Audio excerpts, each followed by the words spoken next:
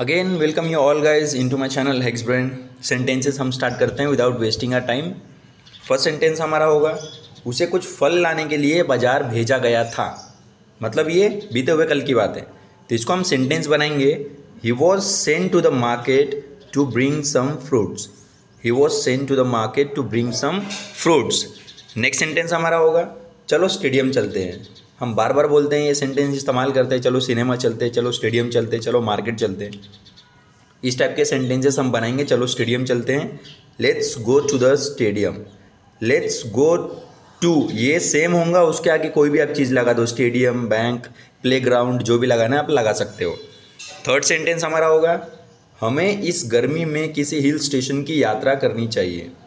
है ना? हम बार बार सुझाव देते हैं, एक दूसरे को हम सलाह देते हैं कि हमें इस गर्मी में किसी हिल स्टेशन की यात्रा करनी चाहिए। We should visit a hill station this summer इस टाइप से सेंटेंस हमारा बन जाएगा। नेक्स्ट सेंटेंस की तरफ़ हम बढ़ते हैं। नेक्स्ट सेंटेंस हमारा हो गया। क्या आप मुझे बता सकते हैं कि आपके पिता का नाम क्या है? कोई हमें पूछता है? इस तरीके से वो इंग्लिश में पूछेगा। Could you tell me what your father's name is या फिर what your father's name is के बदले ये बोल सकते हो।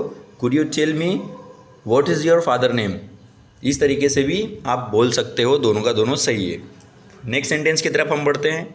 नेक्स्ट सेंटेंस है, शिक्षक ने मुझे कार्यालय से अपना डस्टर लाने के लिए कहा। बहुत आसान सेंटेंस है, बहुत इजी तरीके से बनेगा।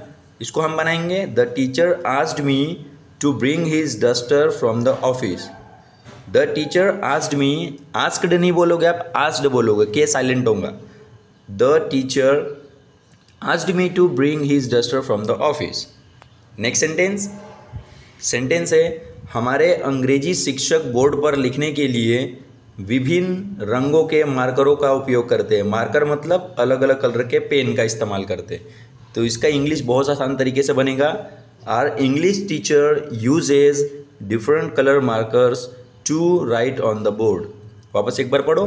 Our English teacher uses a different colour markers to write on the board English बहुत ही ये इंपॉर्टेंट जो मैं सेंटेंस पढ़ा रहा हूँ ये इंग्लिश वाले, बहुत ही इंपॉर्टेंट और डिफ़िकल्ट है, मगर सबसे ज़्यादा इस्तेमाल किया जाने वाला सेंटेंस है ये। नेक्स्ट सेंटेंस नेक्स्ट सेंटेंस है हमारा, मेरे कार्यालय में एक बड़ा सा वाइट बोर्ड है। I have a large whiteboard in my office I have a large whiteboard in my office उसके बाद नेक्स्ट सेंटेंस मेरे बैग में छः अलग अलग रंग के पेन हैं। I have six different colours pens in my bag I have six different colour pens in my bag समझ रहे हो? ये कलर के कलर वाले जो पेन हैं, इसके बदले कुछ और बोल सकते हो।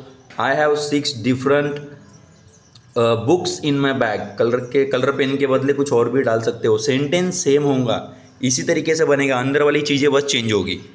नेक्स्ट सेंटेंस कृपया अब एक ग्लास गर्म पानी लेकर आए।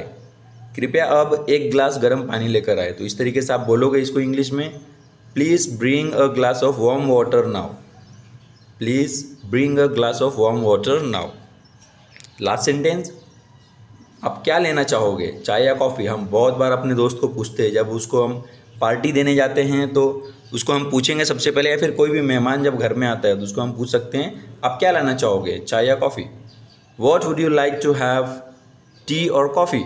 इस तरीके से ये सेंटेंस हमारा बन जाएगा गाइज़ तो हमारा ये सेंटेंस आज के हमारे ख़त्म हुए नए लोग सब्सक्राइब कर दो, जो पहले से ही सब्सक्राइब कर चुके हैं। लाइक करो कमेंट करो शेयर करो। Thank you so much guys see in the next video